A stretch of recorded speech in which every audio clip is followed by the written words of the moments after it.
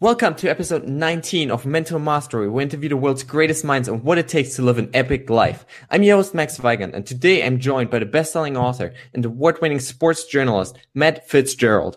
As a leading running and triathlon coach and certified sports nutritionist, Matt is the go-to guy for thousands of athletes who want to improve their performance, both mentally and physically. Matt is also author of the incredible book, How Bad Do You Want It? Mastering the Psychology of Mind Over Muscle, which has served me well in my own running career. So Matt, welcome to the show. Great to be with you.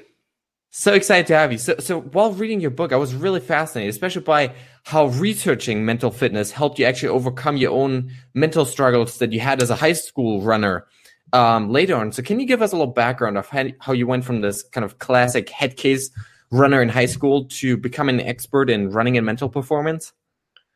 Yep. Uh, so I, I, got into running when I was fairly young, 11 years old, through my father, who uh, was running marathons back in the 1980s.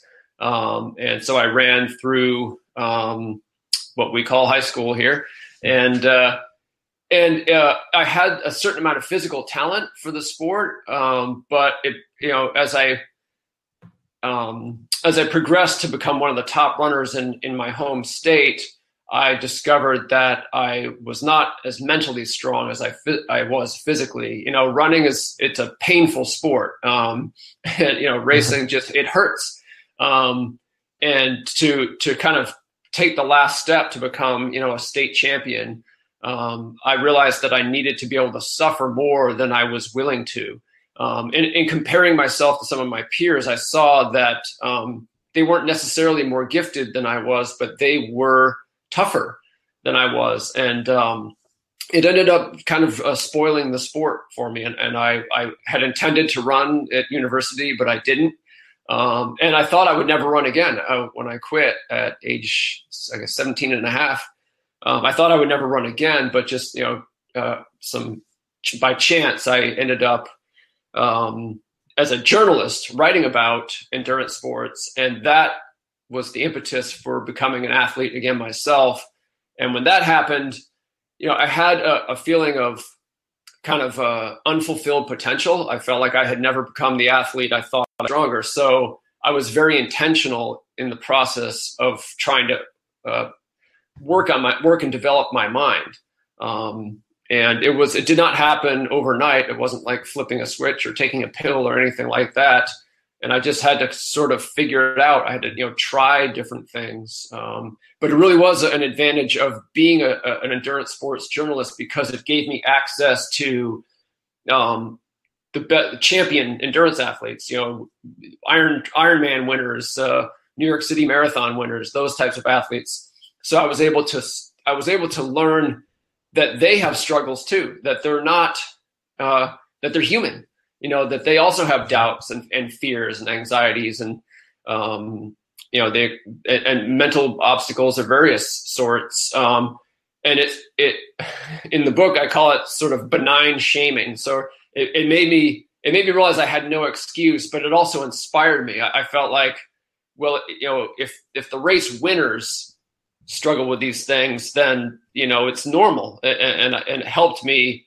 It wasn't the only ingredient in overcoming, uh, you know, my my my mental weakness, but it, it certainly helped. Oh, I love that. It's such an important point that you're making is that like everyone's struggling with the same things, right? I mean, I've had several world champions now on the show and all of them said they had the same exact struggles that, that you and I and every other runner or person, whether it's in business or, or general in life, we all have the same struggles. And I think oftentimes that we get so focused on our own problems, our own kind of small world that we forget that like even the best in the world struggle with the exact same things. It's just about how you respond, the kind of techniques and strategies that you develop to, to deal with them more effectively. So so I love what you're saying here about like you just kind of reached out to to the best in the world and learn from them. So so one thing that the probably main takeaway from book is that like performance is limited by the brain, not the body. Um, and you gave this incredible example of how how when people get like those prosthetics arms for arms for example, they still get tired even though their their muscles aren't performing anything, right? So why is right. it that the performance is limited by the brain? Yeah, so you know, by definition, uh, an endurance sport is a sport where in which you're never you're never working as hard as you possibly can, except maybe at the very end. You know, so you you know you you you execute an endurance race through pacing by intentionally you know not running as fast as you can until you know you're within sight of the finish line. Yeah. You know, you have to save something. You have to distribute your, your effort. Well, how does pacing work? It works through something that uh, scientists call perception of effort. Um, and perception of effort is just your your sort of global sense of how hard you're working relative to your personal limit. So, you know, if you're going to run a marathon, for example, and you're 10 kilometers into a 42.2 kilometer race, if you're experienced, um, you have some sense of how hard you should be working at with 32.2 kilometers left to go. Um, and and that that is perception of effort. And that's really the direct yes, you have physical limits, but you're not encountering those physical limits until until you're done, uh, presumably. Um, so it's you know ev- everything in endurance sports. It's not like you know powerlifting or um, other sports that involve you know maximal efforts. Um, so you know perception of effort it, it really is uh, the limiter in endurance sports. Oh, for sure. And it comes from the brain. And sorry, yeah. and it, it, comes from the brain. So you know, perception of effort.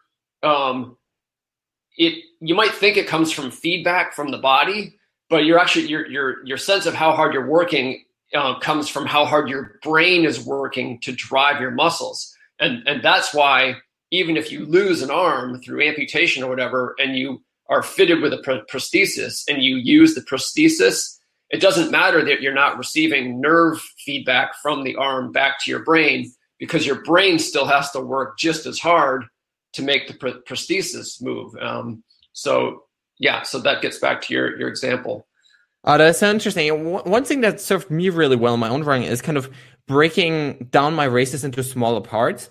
Um, would you say that that is kind of like an explanation or, or kind of kind of a strategy using this um, regulatory in anticipation where you kind of make it like break down the race into smaller parts? So your brain doesn't have to be consumed of like i have 10k to go but only like 1k yeah. So you know there are a lot of little uh, tricks that runners and other endurance athletes use to um, you know to cope uh, you know that, that word coping is uh, comes up again and again in my book because it, it actually comes from general psychology but you know, endurance psychology in psychology is just a specific example of general human psychology. I mean, you're still a human, you know, yeah. just because you're wearing a number and you're on a race course doesn't mean you're you're you're you know not the same person. So there are certain uh, coping mechanisms that come up again and again simply because they're uh, effective.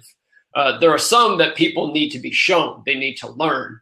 Um, but there are many that tend to just uh, people find them naturally on, on their own. You don't have to, most runners, you don't have to teach them that it can be beneficial to break a long race down into smaller uh, parts. Uh, they'll just figure out that um, it does make the race feel uh, less overwhelming. Um, and you see that in general psychology as well. You know, uh, people who are, for example, trying to lose weight will often, instead of if they have a lot of weight to lose, it can be overwhelming to think about their long term goal. So it, can be effective for them to make incremental goals. Uh, just, uh, you know, so it's, yeah, it's another example of general psychology as manifest in endurance sports. Oh, for sure. And you put it a really great way in, in the book when, when you said that kind of like you bring the whole person into athletics, right? Like we often think that like athletics and life are separate things, but it's the same, like you said, the same person that you bring into it, the same psychology and the same principles. Sometimes I feel like like who you are as a person has so much of an impact on on even your success in sports because the same psychology, the same mindset, the same ability to suffer, the same self-esteem, all of these same things go into athletics, right?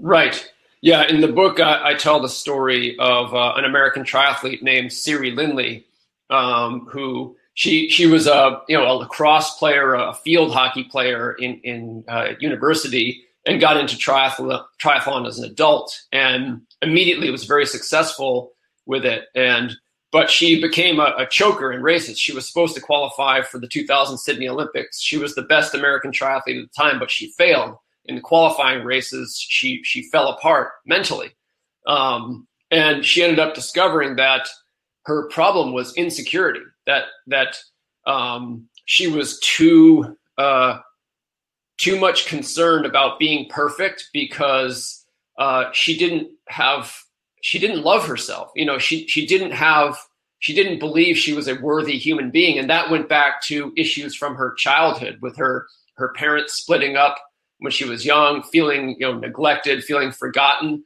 You know, this is all deep personal stuff that goes back to early childhood. And probably the last thing she expected was that it would stop her from going to the Olympics as a triathlete. But to your point, she was the same person, excuse me, person. Like that insecurity was something that she needed to work on to, you know, become a happy individual. Um, and it just so happened that that uh, triathlon became the mechanism for her to to do that work. The beautiful thing about it is that you know by doing that work, not only did she become a world champion the year after the Olympics she missed, but she also did grow and mature as a human being. So you know her her triathlon career didn't last much longer. She had a lot of life ahead of her, and you know by doing that work, uh, it benefited her both as an athlete and as a human being.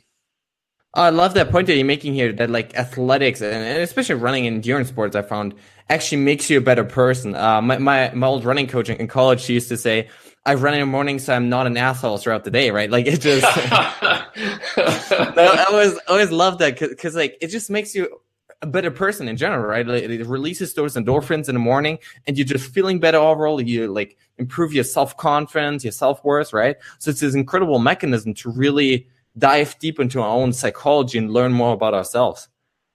Yeah, though I, I will say that um, it isn't automatic. You know, there's the potential there. It's sort of you know like um, you know going to college is an opportunity to find to to gain an education. But if you don't go to class, if you don't read the books, yeah. you, you know you're not going to get much out of it. And it's the same thing with endurance sports that they provide a tremendous opportunity for growth, but not everyone takes full advantage uh, of it. Um, so you, you, have to you, you, have to do the work. You know, it, it, it, takes and it can be frightening.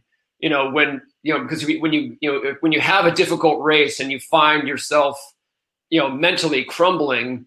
Um, so issues that you may hide from yourself or that just are hidden most of the time come to the surface and the question is, what do you do with those? You know, uh, some people just prefer to put it all back in, in hiding mm-hmm. and, and not work on the stuff. But, you know, yes. Um, but the people who really do, you know, become uh, better, better human beings, better men and women through sports are, are the people who, who fully utilize the opportunity. Oh, for sure. So for those people that don't want to hide from that anymore, that actually want to to get better and dive deeper, what are some some of the first steps that you would suggest for people to really learn more about their own brain and then learn to master this this ability to cope with with pain?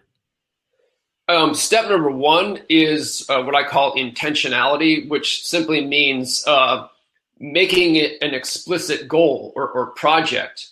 Um, you know, it's sort of like the idea that you have to name your fear before you can a- address your fear.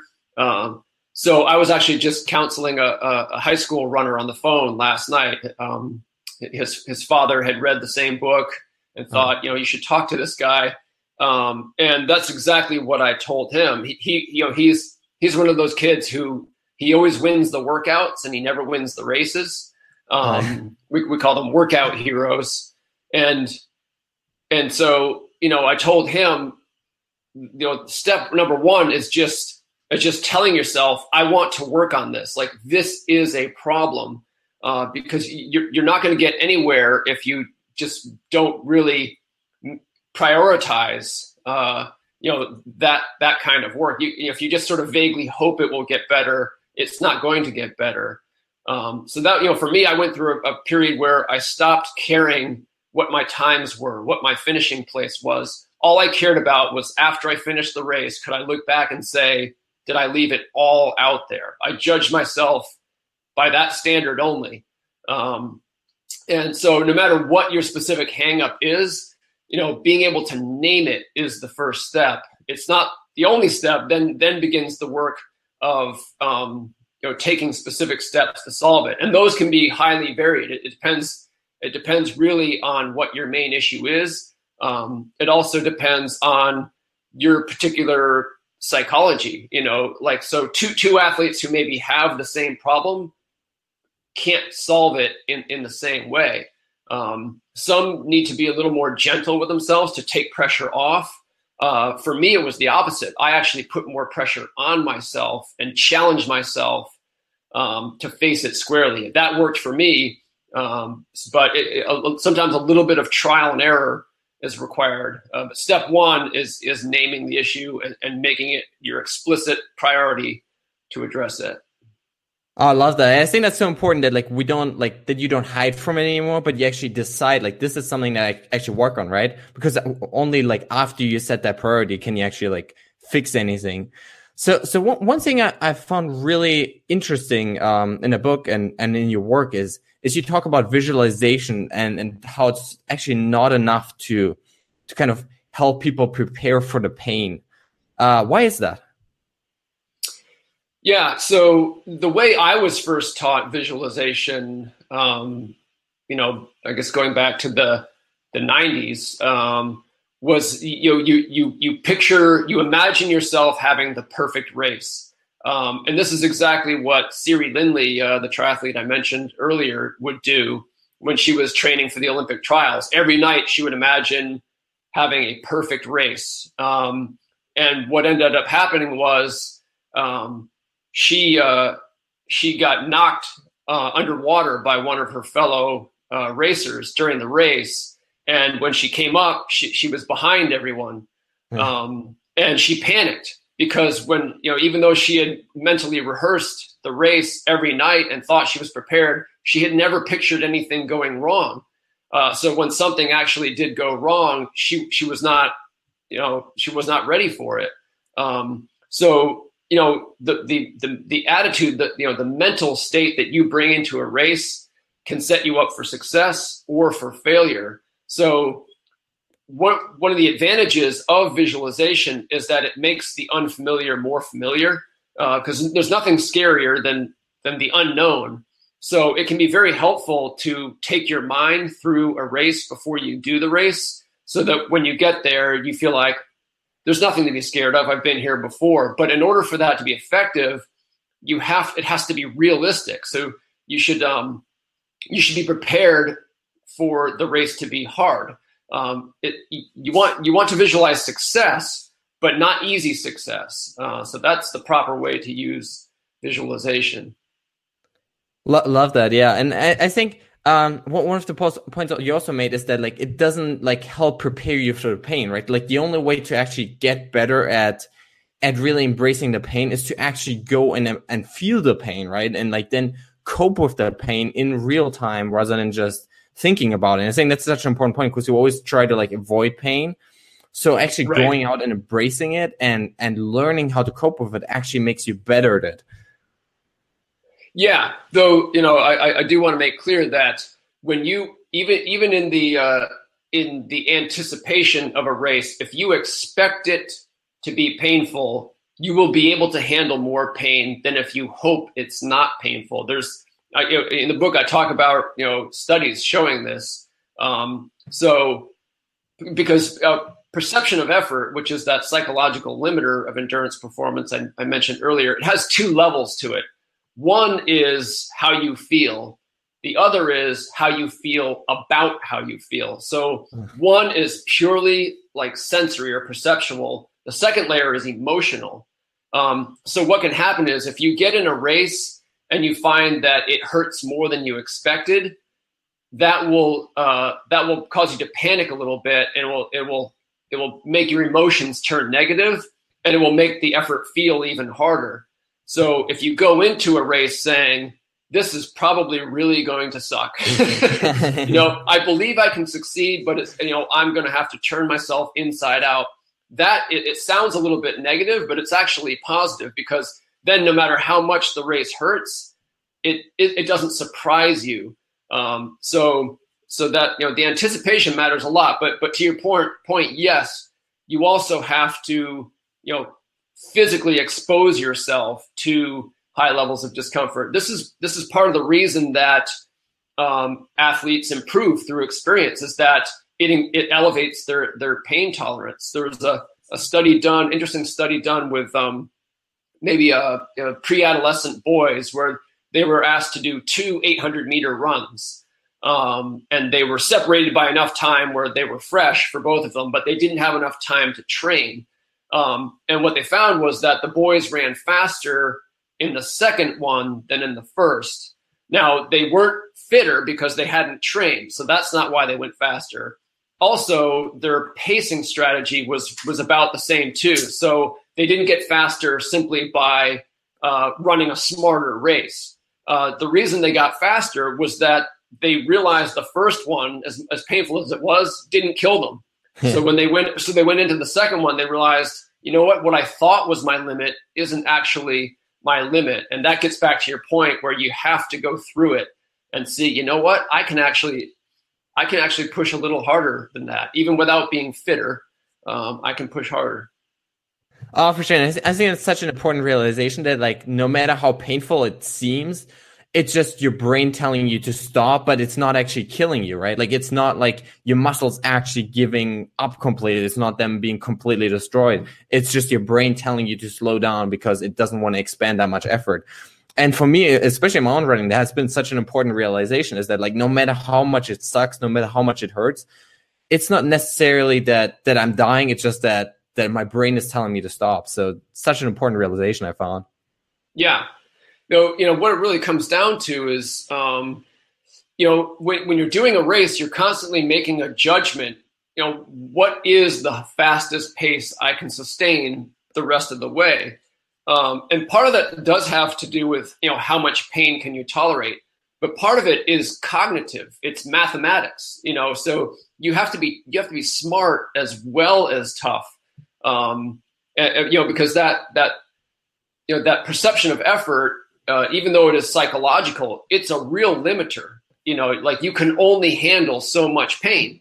Um, yeah. You know, you can only tolerate so much perception of effort. So there is such a thing as self sabotaging your own race by accepting too high a level of discomfort too early in the race. You know, if you if you feel like you're at your limit 10k from the finish of a marathon guess what you're going to fall apart you know so yeah you have to be you have to it's gonna be, be a long one then yeah you have to be smart and tough Oh, for sure. So, so, outside of these things, what are some other tips that you can give to people that that want to be mentally tougher during races? Like, what what does self talk look like ideally? Yeah, so you know, self talk is um, you know just the you know the, the conversation or, or dialogue you have within your own head.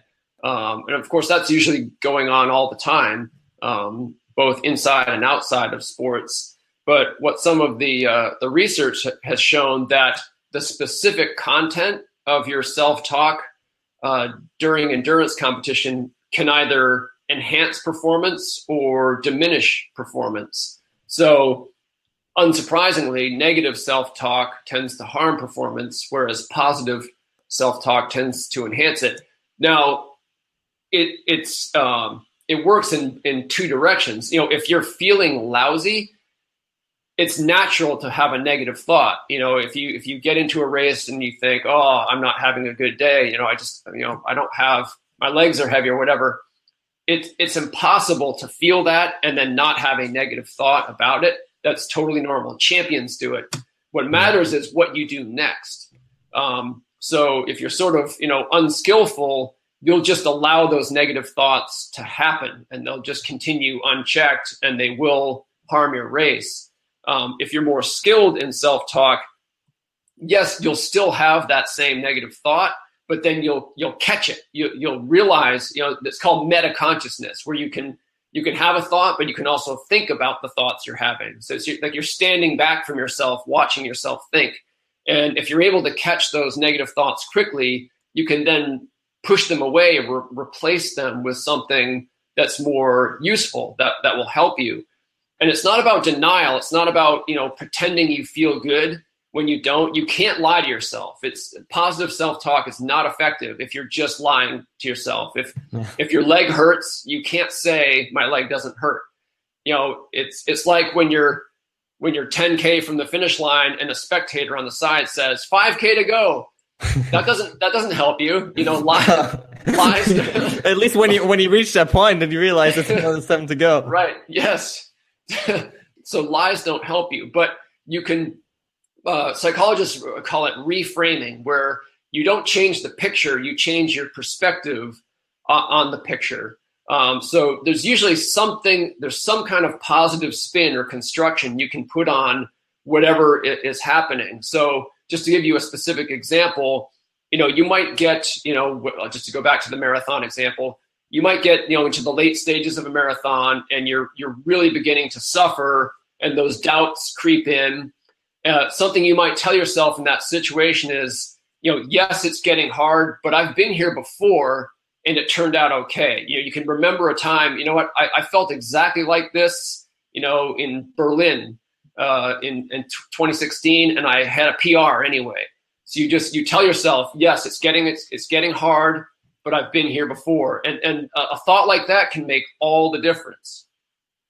Oh, I love that. Yeah. So, so Matt, in your own running career, what has been the biggest challenge that you've had, and how do you overcome it?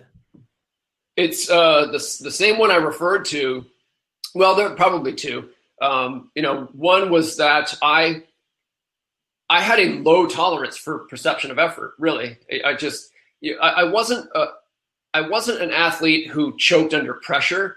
Um, it wasn't you know if I was expe- if I went into a race you know expected to win it um, I didn't um, that didn't faze me. You know, it, it, wasn't that. It was that I didn't like the pain. Mm-hmm. Um, you know, it's like anything else. There's a spectrum. Some people have a very high tolerance for pain and, and perception of effort. Others a low tolerance. Others are, are in between. And I needed to increase my my tolerance for perception of effort. Um, and I can say it, it worked. You know, it's like I'm uh, it really it is. I, view it as an advantage now. I, I feel like I can actually handle more discomfort than almost any other runner I ever compete against now. Whereas I felt like my starting point was very far away from that. Um, so that was one challenge. The other challenge is that I am very injury prone. Uh, so you know, I, I, get hurt easily. I get hurt often, um, and that there's a big psychological component to that as well. You know, because when you have an overuse injury, it's not like it hurts all the time. You're not walking. You're not necessarily. If you have a, a you know an Achilles injury that prevents you from doing speed work, well, you're not. You're not. You're not in pain at, in bed in bed at night. You're not pain when you're sitting at your laptop doing work. So that's not the problem. The problem is you're miserable all the time. You're unhappy. You're you're frustrated. So being injury prone actually has been another impetus for me to grow and develop you know psychologically as an athlete as well oh yeah and, and just back to back to a mental toughness part for our listeners here matt has actually uh, finished ironmans before so so that's that's where you can get from from this kind of being this head case in high school right to now finishing ironmans running marathons all this crazy stuff so so really uh congrats congrats to that to really mastering the the mental side of of running a triathlon so I'm really curious. Do you have a favorite mantra or quote that you say to yourself, like before races or during races? Yeah, I, I certainly have some that I come back to. Um, but one thing I like to, when I'm asked this question, one thing I like to point out is that um, some of the, I call them lifelines. So, hmm. uh, um, you know, a lifeline is a, is a mantra that comes to you spontaneously in the heat of the moment. Um, so, you know, you might go into a race saying, oh, oh you know, um, my mantra for this race is let it come to you. Don't force it. Let it come to you. So that that's a really good one. And but you might get, you know, well into the race and then, you know, you find yourself sort of in in a situation you didn't necessarily expect to be in and then that that that planned mantra might be completely useless. Yeah. You know, because that's why they call it performance because you you know rehearsal's fine but you know if you if you forget your lines on stage you got to come up with something yeah. so so what I often find is that the uh, the mantras or whatever you know, the self talk, the words that help me make the best of, of a race, uh, I have to receive them. They have to come to me in the moment. So it's important for athletes to be to be open to that. Um, um, for example, I'll tell you, like last year, I um, I ran the Chicago Marathon, and um, I was 46 years old. Um, I had I had trained with a team of professional runners, and this was my wow. 41st or 42nd marathon. My my existing PR had been set eight years before. Um, wow. So I, I was in a situation where almost nobody is improving. You know, plenty of 46 year olds uh, set PRs but not 46 year olds who started running when they were 11, who ran the first marathon when they were 28, who'd run more than 40 marathons, and whose PR was more than eight years old. That just doesn't yeah, happen. Doesn't. Like you, you, you, know, it just doesn't. Um, but I, I, felt like I had a chance to do it. You know, I, would had this unique opportunity to t- train with a team of professional runners. Um, wow. I was fit. I was old, but I was fit. And when I got to the last, uh, you know, 2K of that race, um, I was still on pace and it was starting to get hard. Um, and I told I told myself, this is for a lifetime. this is your last chance. You are not going to get another chance. And and that that phrase, this is for a lifetime, went through my head nonstop the last 2K of the race.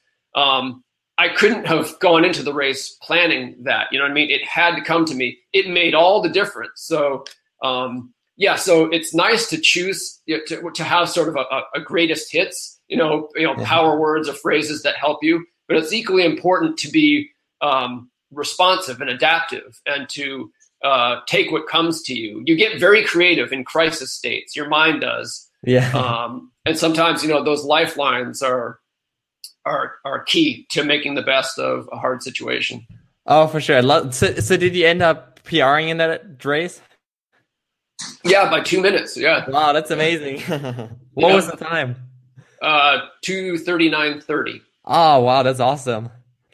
Love that. So, um, one thing I wanted to add to to what you were saying before is, uh, what I found is, is also so important that, um, yes, yes, you have to wait for sometimes things come up spontaneously in a moment, but also practicing them in advance makes it so much easier yes. for you to actually use them in in the race, right? Because like if like you've like you said like running a marathon right but you've never actually practiced those things you've never practiced the self-talk you you've never practiced those affirmations or whatever it's not just suddenly going to happen in a marathon like you have to practice it over and over again every single day so that way it comes natural when the day is right that that's true and it you know it's not just the um it's not just the specific uh, mantras that you practice, but it's also developing the habit of catching negative thoughts quickly. That's sure. really the key, because you know, like I said, the negative thoughts are going to happen, um, but but the real key um, is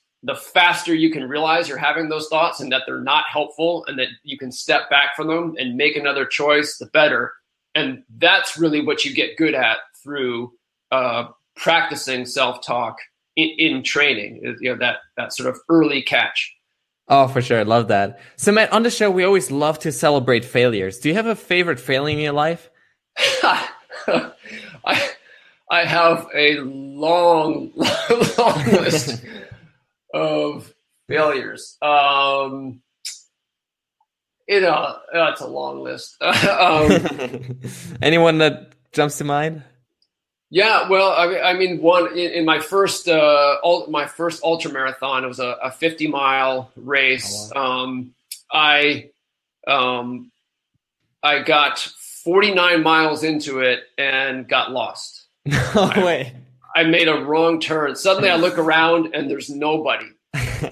and uh, you know, at that point, 49 miles into a 50 mile race, you don't have much left. You know, oh. and you're also you're not really thinking straight. Uh, and uh, I just went.